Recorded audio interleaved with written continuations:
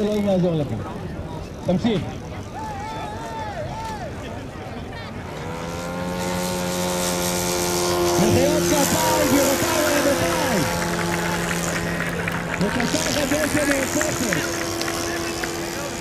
וואלה, אתם אדישים? כנראה שבים המלח באמת כולם כסחים.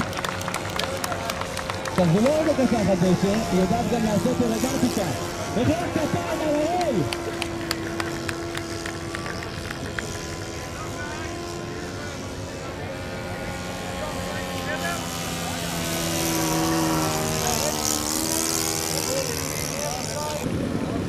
אנחנו מקווים שאתם נהנים ממנה, ואם כן, אז בבקשה מחיאות כפיים, צריך להימחק. תודה.